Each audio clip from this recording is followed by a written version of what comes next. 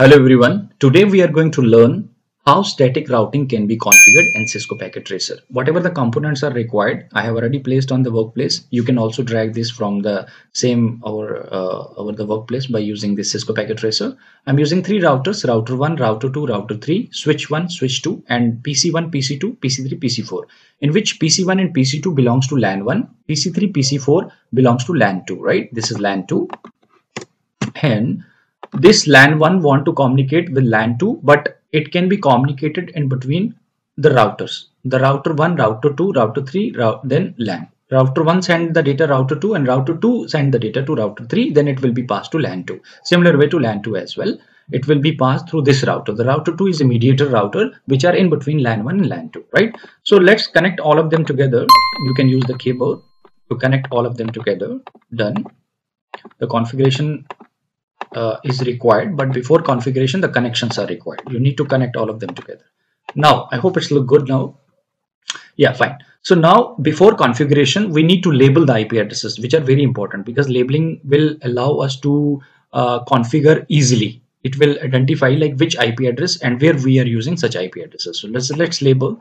I'm choosing one network id for this lan 1 and one network ID for this LAN 2. So let's decide 192.168.10.0 will be for LAN 1 and 192.168.40.0 for LAN 2, right? Whatever the IP addresses that I'm going to assign for LAN 1 belongs to this network ID and for LAN 2 belongs to this network ID, right? So there are other networks as well. There are networks between router 1 to router 2 router 2 to router 3 so these two should have a different network ids right? So let's assign a network id 192.168.30.1 for this connection and 192.168.20.2 for this connection. It is 20 i'll assign this as a 20 20 you can use 30 as well. I'm using for me it's a 20 right? 20 for this connection. 10 for this connection 20 for this connection and this connection this connection requires a new network id so i'll assign a new network id over here. 192.168.30.1 for this connection and 192.168.30.2 for this connection right? So this labeling is done. So let's assign the ip addresses for lan 1 then we'll go for serial uh, uh, connection between this router to this router then serial connection from this router to this router then we'll proceed for LAN 2 so let's assign the default gateway first. Default gateway will be assigned to fast ethernet 0 by 0 click on the router go to configuration go to fast ethernet 0 by 0 turn it on assign 192.168.10.1 one will be my default gateway which will be assigned to each of the PC connected to the same LAN. Connect on LAN uh, PCs PC1 and assign the IP address 192.168.10.2 from the same network ID that I have decided. This is the network ID and this has been decided for this one, right? So now in this case, default gateway will be 192.168.10.1, right? Which I have already assigned to fast ethernet 0 by 0. Same for PC2 as well. Click on PC2, go to configuration and assign 192.168.10.3 and default gateway will be same done for this connection. My connection uh, uh, from this router to the PCs are done or you can say the configuration of IP addresses from this LAN is done. So now I'll shift to this serial port. I'll assign to the IP addresses to serial port 2 slash O. Serial ports 2 slash O need to be turned on and assign the same IP address this one 192.168.20.1 over here. Done. This belongs to class C. I'm using class C for every network uh, so it will be easy for you to configure. If you want to use any other class you can use. You can use in between the different classes as well. Class c class a class b class c. Whatever you want it depends upon you. But network ids should be different. One has been assigned to slash 2.0 or uh, 2 slash uh, uh, serials 2 slash o. Close this. Go to serial 2 slash o on the other router. Configuration. Assign the same ip address this one to this here. Turn it on 192.168.20.2 uh, okay done. Now i'm done with this. Configuration is done because it turns into a green means the signal between this router to this router is on. You can send the data from this router to this router. But you cannot send the data from PCs to router until my static routing is done. I'm just configuring by assigning the IP address. Go to router again, find the serial 3 slash O, serial 3 slash O is there. What IP address is there? This IP address is there 192.168.30.1 and done. This 30.1 is here, you can see. And here it is what? Serial slash 2 slash O. Serial 2 slash O need to be configured. Serial 2 slash O and need to turn on. Assign the same IP address here 192.168.30.2. Done. This is very important. IP addresses should be correct. If any of the mistake will be there in an IP address, the whole network will be down. You will not be able to configure. Now the similar way, whatever you have done in LAN 1, you have to do in LAN 2, but network ID is here 192.168.40.0.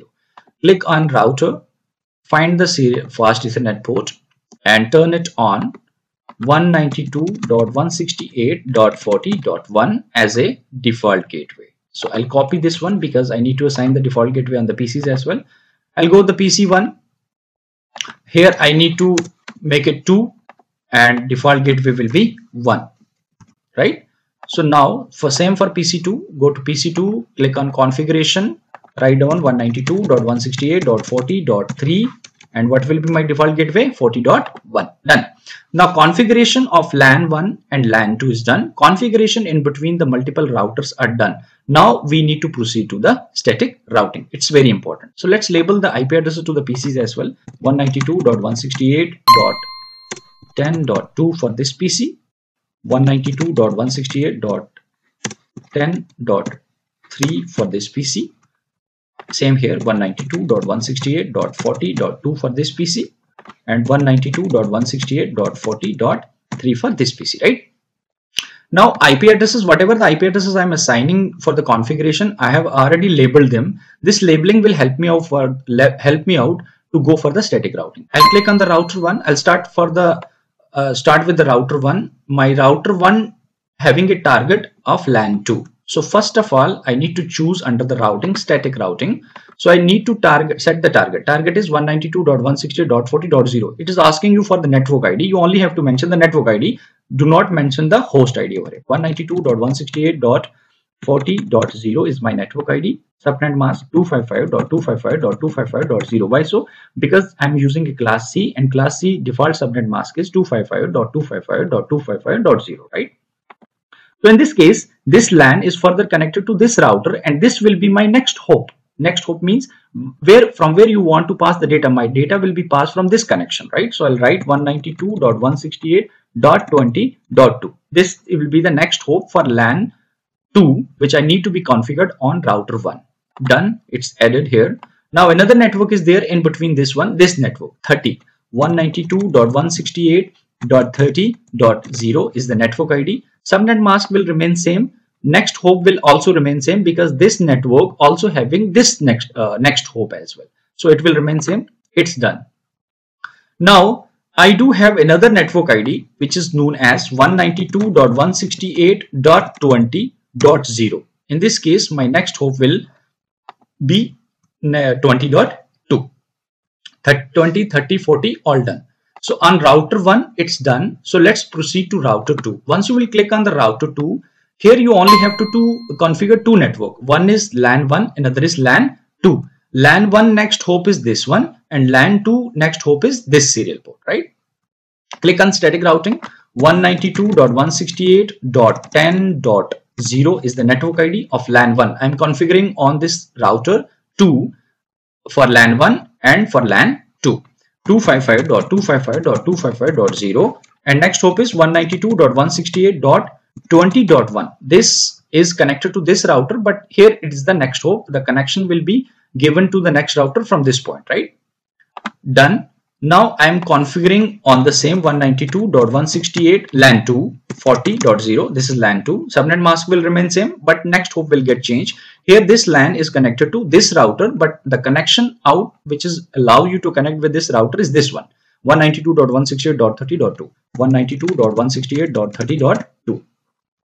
The configuration here as done.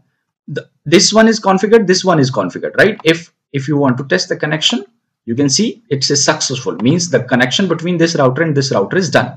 Now i need to proceed to the router 2 I'll, uh, router 3 I'll click on the router 3 similar way whatever you have done in router 1 similar way you have to proceed with the router 2 what is my target? From LAN 1 LAN 2 the target is LAN 1 so I need to write the network ID of LAN 1 you can see here the network ID of LAN 1 192.168.10.0 okay this is very important. We always have to remember like what IP addresses we are using and how can be uh, how we can assign the next hop over there right? Default subnet mask will remain same 0 and what will be the next hop i'm targeting from here. I'm targeting from here. So this will be i'm targeting from here. My next router is this one. And next router is having this connection which allow my data come from lan 1 to pass it to lan 2 so this will be my next hop 192.168.30.1 done so in between this, there is another network. This is 20. So I need to add this as well 192.168.20.0. This case, this 20 is connected to this router and this will be the next hop. My next hop will remain same 30.1, right? So I'll add this one as well. So another network which is very important. This is 30. So I'll change it to 30.192.168.30.0 uh, and next hop will remain same as well. Done. If you will if you will check all the routers are configured under the static routing. There are three routers, right? Let's test from router 1 to router 3. It's successful. Means we can transmit the data from router 1 to router 3. Or can we transmit the data from LAN 1 to LAN 2? Routers are configured. Let's test it on the PCs. PC 1 to router 1 successful. PC 1 to PC 3 it's still in process. It will take some time no issue. We'll try it again because router t needs some time to get uh, configured uh, like 30 to 60 seconds. Okay it's done. Let's test this in a more way. I'll click on the pc i'll go to the command prompt. I'm targeting from this pc this is my 198 one this is my source pc my destination pc will be 192.168.40.30 let's ping it out. Let's test the connection whether the connection is successful or not. I'll write the command named as ping 192.168.40.3 right? Press enter. If you will get the packets means the connections are successfully established in between pc1 to PC3. You can see we got the packets. First one is missed because router takes some time to send the data in between the routers. So rest three packets we have received. If you will test the connection again, you can see all the four packets will be received, right?